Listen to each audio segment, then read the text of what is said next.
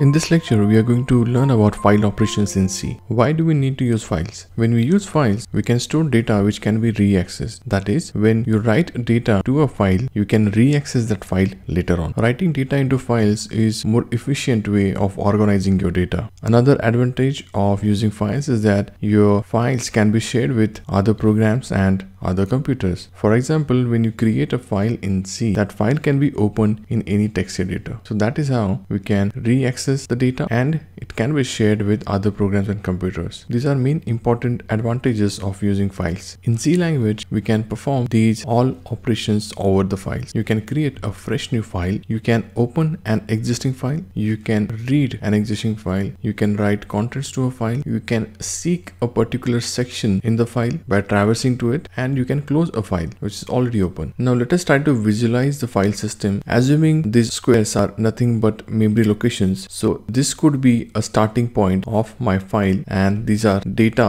written into those files. All files have a special pointer at the end that is EOF that is end of file. It is the special pointer using which we can identify that file has ended over here. To read a file we create a file pointer which points to this location. Suppose I'm using a file pointer as file star fp then suppose if it is pointing to this location then using this pointer we can traverse across all other memory location of the file. We can read contents we can write content using this file pointer and some readily available functions in C language. Now let us check what are different file modes which we can use to perform file operations in C language. So R is file mode for reading data from a file. W is writing to a file and in this case contents are overwritten. So if your file that you have opened in write mode has some previous content then that whole content will be erased and new content will be written over it. Then there is A mode that is append mode. It adds content after the end of your file. So suppose your file was having data as ABC and you are going to write XYZ to it. So ABC will be written as it is and XYZ will be added to it. Then there are more few advanced file mode that is R plus. Using this mode you can read existing content. You can write new content to the file and you can modify existing content as well. Similarly we have W plus. In this case contents are overwritten like the case of W. In addition to it, you can write new content, you can read back new content that you have written, and you can modify existing content from the file. Then finally, there's another mode as A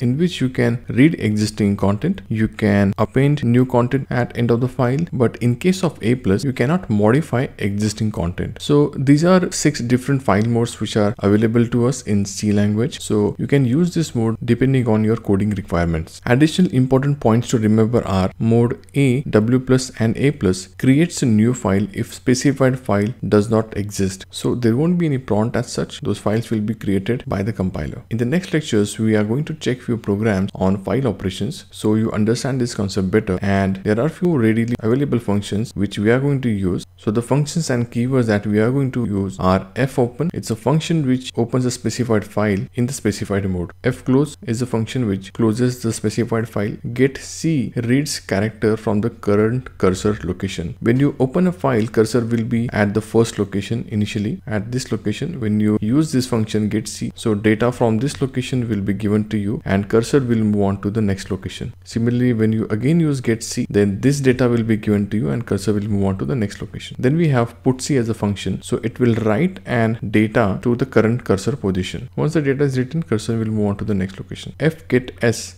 reads line from the file. So your file usually have multiple lines into it. So will read line by line. Similarly, putS is a function which writes line completely, unlike putc which writes character by character. Then we have a special keyword EOF which specifies end of the file. So when we are going to read these contents, if function returns me EOF, then we can assume that cursor has reached end of the file. In the next lecture, we'll check few programs for file operations so that will make your understanding more clear.